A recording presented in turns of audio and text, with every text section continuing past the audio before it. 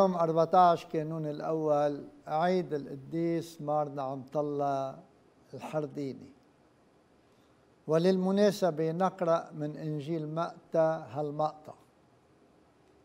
فيما كان يسوع ماشيا على شاطئ بحر الجليل رأى أخوين سمعان الذي يدعى بطرس وأندراوس أخاه. وهما يلقيان الشبكة في البحر لأنهما كانا صيدين فقال لهما يسوع اتبعاني أجعلكما صيدين للناس. فتركا الشباك حالا وتبعاه. ولما جاز من هناك رأى أخوين آخرين يعقوب ويوحنا في السفينة مع زبد أبيهما وهما يصلحان شباكهما فدعاهما فتركا حالا السفينة وأباهما وتبعاه. وكان يسوع يطوف كل الجليل يعلم في مجامعهم ويكرز بإنجيل الملكوت. ويشفي الشعب من كل مرض وكل علة. وزاع صيته في سوريا كلها؟ فحملوا إليه جميع من كان بهم سوء مصابين بأمراض وأوجاع مختلفة وممسوسين ومصروعين ومفلوجين فشفاهم. وتبعته جموع كثيرة من الجليل والمدن العشر وأورشليم واليهودية وعبر الأردن. حقا والأمان لجميعكم. أعزائي المستمعين مستمعي صوت المحبة ومشاهدي شاريتي تي في الله معكم وعيد مبارك للجميع وخاصة للذين يحملون اسم نعمة الله. في كل مرة نسمع بالحرديني نتذكر قول المشهور اللي كلنا بنعرفه واللي كلنا بنفكر فيه واللي هو بيقولوا نص الجملة بس الشاطر يخلص نفسه. بس الجملة كلها سوا هي بتقول إنه هيدي الرهبنة والشاطر يخلص نفسه. شو معنات الشاطر يخلص نفسه؟ معناتها مش الذكي مش الحكيم مش الحربوق مش المفكر كتير بالعكس تماما. وبعتذر من أخوتي الرهبان إذا قلت ما أفكر فيه بهالجملة. يبدو أنه القديس كان عايش في بيئة مزعجة مؤلمة فيها شكوك فيها خطايا فيها نزوات فيها مخاصمة وفيها تباعد وفيها رفض. كل هالمجموعة هيدي كان عايش فيها الحرديني ومن الطبيعي جدا من الناحية البشرية أنه يطلق هالصرخة لبعد لبعد صداها بإمكانه يوصل إلى كل البيئات الرهبانية والكنسية ويقول الشاطر يخلص نفسه. وما قيل عن البيئة الرهبانية؟ بينقال عن البيئة الكنسية والبيئة الدينية والبيئة الاجتماعية والبيئة الوطنية وبينقال عن كل البلد. ونحن بالأيام هلأ اللي عم نمرق فيها فينا نقول الشاطر يخلص نفسه. هالكلمة هالصرخة هالنبوة بالأحرى إلى مفعول وبيبقى مفعولة مدى الأزمان.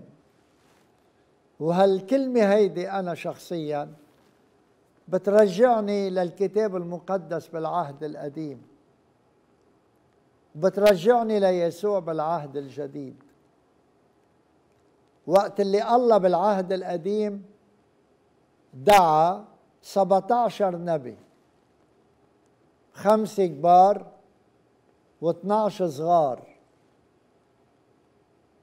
وسميهم وسموا الأنبياء الكبار نظرا لحجم نبوتهم مثل إشعيا 66 فصل قد كل الأنبياء الصغار.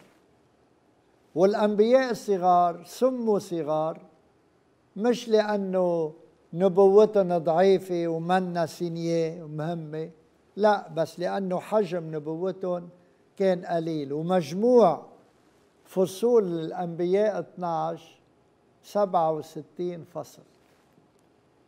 بس شو الهدف؟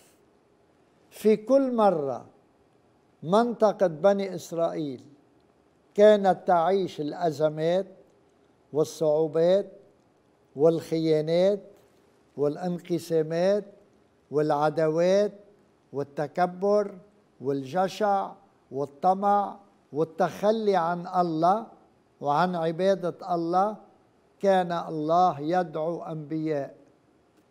وهول الأنبياء كان عندهم مهمتان كان عندهم صرختين كان عندهم نداءان كان عندهم رسالتان تتشابه.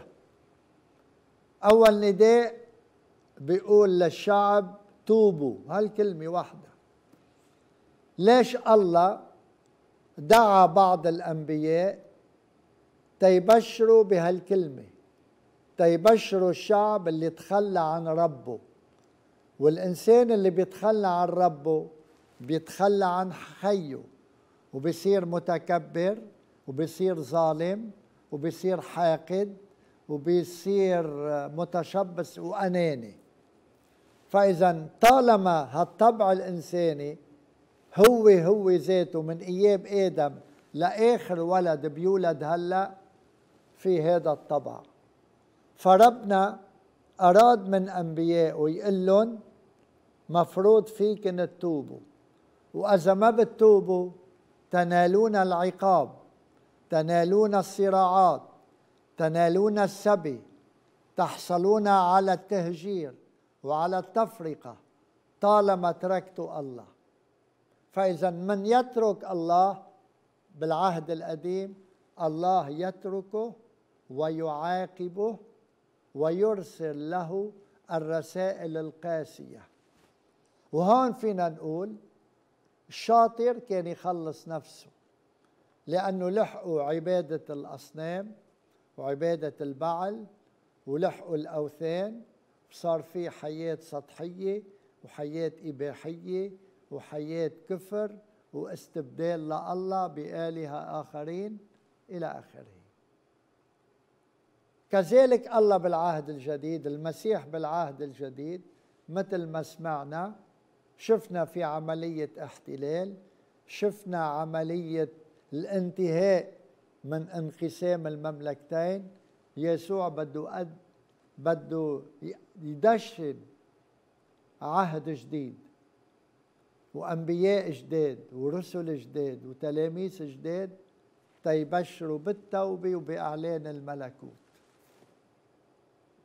وعلى أثر نداء يسوع للرسل شفنا أنه ببداية الكنيسة وخاصة بالجيل الرابع كفت مدرسة يسوع وصاروا يدعوا إلى الانتماء إلى الدعوات الكهنوتية.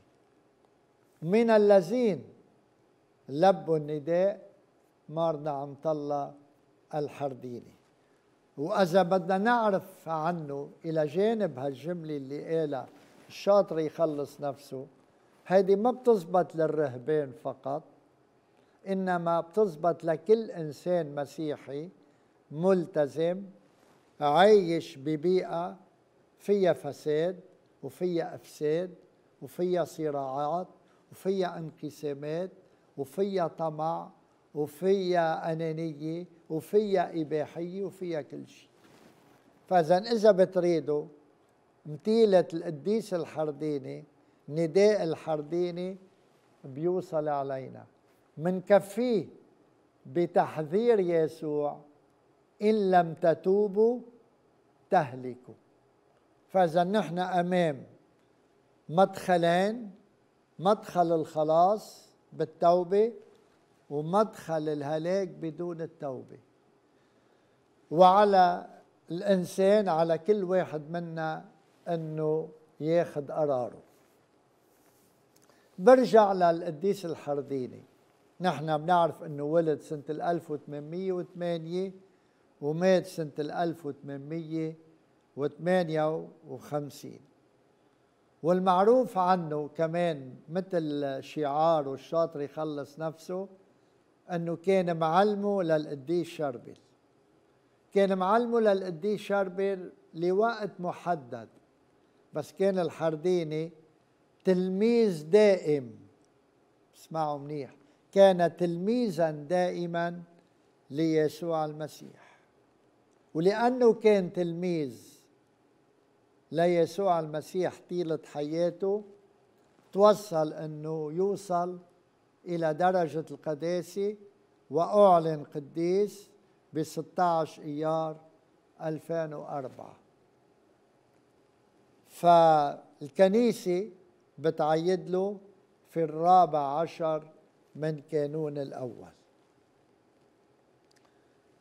أنا بدي أحكي فقط عن روحانية هالقديس لأنه أنا ما فيني يكون قديس إذا لم أكن مشبعا بروحانية بروحانية عميقة عميقة تستند إلى كلام يسوع. ونحن تعلمنا شغلتين إنه في الروح والروحانية بيقولوا روح الجمعية روح القديس معناتها صيغة الشهادة والروحانية صيغة العبادة. بما امتازت روحانية نعم طلع الحرديني بثلاث عناوين بثلاث أمور. أول شيء عبادته للقربان المقدس يعني اللقمة لقمة يسوع وقراءته للكتاب المقدس يعني كلمة يسوع عنا اللقمة وعنا الكلمة وعنا مريم. كان يتأمل ويطالع بكتاب أمجاد مريم للقديس ألفونس دو ليغوري.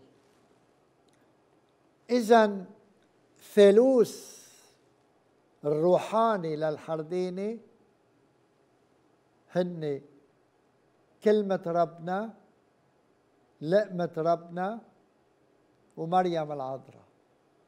وهول مرتبطين ببعضهم لأنه وقت اللي بقول أنا بالكلام الجوهري هذا هو جسدي يعني هذا الجسد من مريم. فإذا ثالوث مرتبط ببعضه البعض متكامل ببعضه البعض وبيوصل للقداسة. فإذا لازم نعرف وبيكفي إنه نحفظ هالثالوث هيدا القربان الكتاب المقدس ومريم.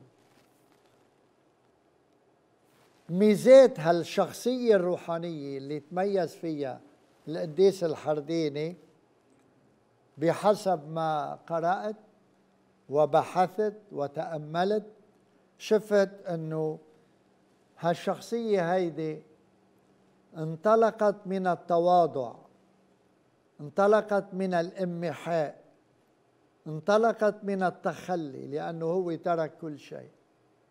ما في دعوة كهنوتية رهبانية أو دعوة إلى القداسة إذا لم يكن فيها نوع من الترك نوع من التخلي. للأمور الزمنية اللي بإمكانها أن تكون عائقا لدخول في دائرة القداسة. بدك تكون قديس بدك تكون صديق لربنا ومع ربنا لازم يكون في عملية تخلي. والتخلي مكلف ومتعب ومضني.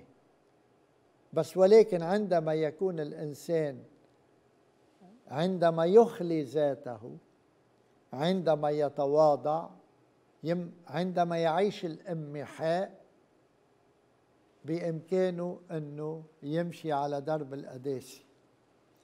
فإذا وقت اللي بقول أنا متواضع ترجمة التواضع عند الحرديني كانت أنه على الرغم من كفاءته العلمية واللاهوتية والراحية والإدارية كان رئيس عام وطلب منه مسؤوليات كثيرة فضل يكون مرؤوس ومش رئيس. طبعا هالكلمة هيدي إلى معاني كثير لا يحق لأحد أنه يشرحها. فينا نشرحها بعملية تواضع فقط وبنكتفي بهذا الكلام.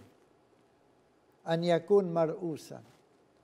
لا يريد أن يصدر أوامر لأنه الرئاسة فيها أخطار وفيها مطامع وفيها لا سمح الله زواريب كثيرة عندما أوظف رئاستي لمآرب شخصية لمنتفعات شخصية إلى آخره. فإذا نكتفي بحياة الإمحاء اللي عاشها الحرديني.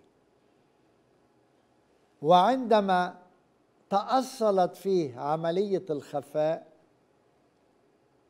ذهب إلى التنسك إلى الزهد إلى التقشف إلى التعري. تعري عن أمور العالم والأمور الدنيوية لأنه هال بيروحوا مع بعضهم. وعلى الرغم من هذه الروح اللي عنده ما تخلى عن صفة المعلم. المعلم القدوة. المعلم البارع. الأستاذ الهادف لأنه كان من خلال تعليمه والمواد يعلمها عنده هدف. اللي عم بيعلمهم بده يوصلهم إلى هدف القداسة إلى هدف التعلي والتعالي عن الأمور الدنيوية. وإذا شرحنا حسنات الأمور السماوية اللاهوتية يسهل علينا التخلي عن الأمور الدنيوية. وعندما تتجمع هالصفات بالقديس الحرديني بالأبونا الحرديني. من الطبيعي جدا أنه يكون عنده شوق إلى الأعالي إلى الأمور السماوية. بقدر ما أتخلى عن الأمور الأرضية الزمنية بقدر ذلك أتوق وأتشوق إلى الأمور السماوية. فهذا القديس الذي عاش التخلي والترك والتحلي بالزهد والتقشف لسبب واحد لهدف واحد أنه ما عيناه من تعطير على الأرض سيكافأ بالتجلي في مجد السماء. ولا عجب أن يدرج اسمه في لائحة القديسين. وهلأ صرنا نفهم انه ما قاله الشاطر يخلص نفسه. صرنا نفهم شو معنات هالشعار.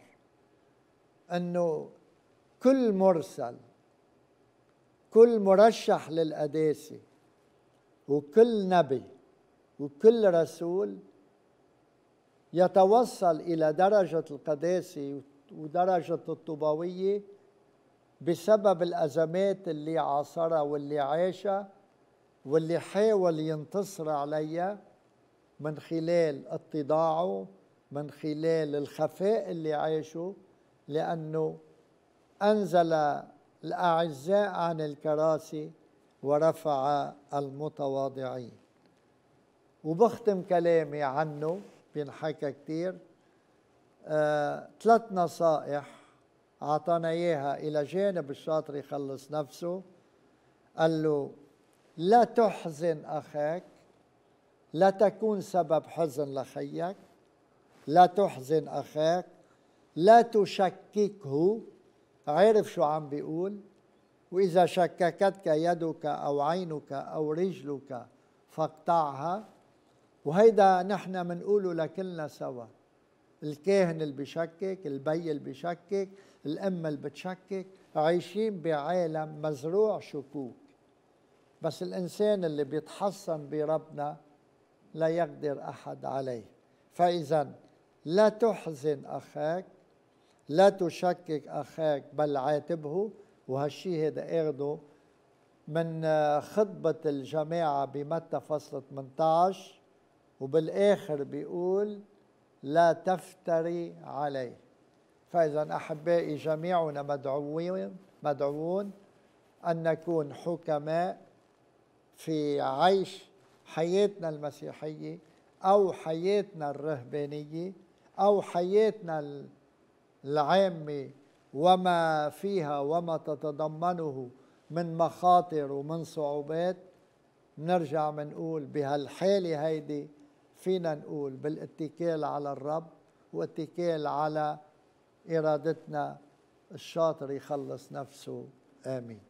كان معكم الأب يونان عباد على أمل اللقاء فيكم بحلقة جديدة ودائما من صوت المحبة تي في تشاريتي وإلى اللقاء.